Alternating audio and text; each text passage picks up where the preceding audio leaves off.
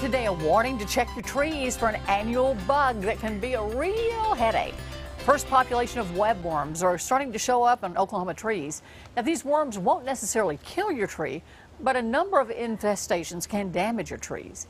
Some years are worse than others for those critters, and joining us to give us more insight on controlling webworms is Mark Bays from the Oklahoma Forestry Service. this guy knew he wanted to be a forester from the time of ninth, ninth grade, grade on. Ninth there grade you in go. high school. That's it. Find find something that you love to do, a hobby you love, you Yeah. can get paid for. You never work a day in your life. And you walked into your backyard and you saw worms. Busted. I am busted. Yeah, go. even in my backyard. You know, I dedicated my life to trees, and, and they're in my backyard. Yeah, so, you're not immune. Nobody No, is. not at all. And Yeah. this year we're seeing it early, and and this is the time of the year that we begin to see those. And uh, they're called fall webworms because they, they have a couple of generations per year, but they're actually starting to come out right now. Okay, and you can see them sometimes second and third generation as well. Yeah, They're a mess. I know, it, and so uh, normally there's two. Last year I think we had three, and further south, depending on how warm the uh, you know the, the temperature is, starting early in the year, you can even maybe even have as many as four. And by generations, we mean first the mom and daddies are there, and then their babies, and then their grandkids, Yes, and, yeah. and on and on and on. Right. Now, you you mentioned that these don't necessarily kill a tree. Right. I've seen people set those on fire trying to stop them.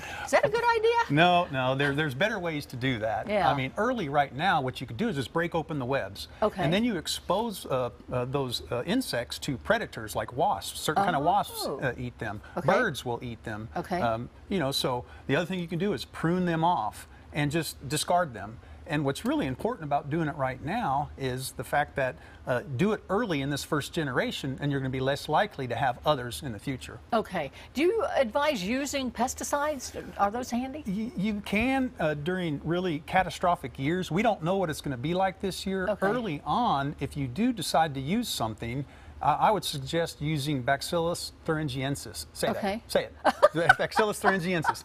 It, That's why you- they pay you the big bucks. No, it, it- or big B, little t. And, Okay. and, and that's just something that's only targeting those insects. They only target caterpillars.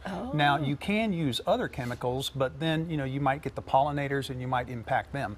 Uh, you know, there, there are some cases too where I've heard people will say, well, I've got what I can, you know, cure it with. I've heard Uh-huh. everything from mothballs to all these different kind of things, but those really aren't labeled for that kind of control. So we suggest, and OSU suggests, you know, just stick to the labels, go with the minimum impact, you know, uh, first, and then if you have to, you know, get more and more, then just move on down the road. What are some of the things that contribute to a bad webworm year? Well, uh, there's predator insects that are out there, and so and some of those insects, you know, the cycles roll through like this. So it could be that the predator insects that normally feed on the tent caterpillars or, or the fall webworms, Right. Uh, maybe their populations are particularly low. The other thing is that they, they the, the adults, the pupa, uh, is in the ground over the winter time.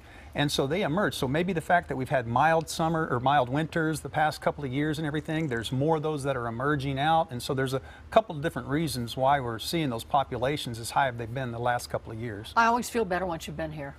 I think I understand the problem better. Wait, wait. You're, Wait, there's one. Please, No, no, I'm just kidding. no. don't set it on fire. yeah, I wanted that. For more information, check out the Oklahoma Forestry Services website. We have a link at KFOR.com. Thank you so much for coming. Bet.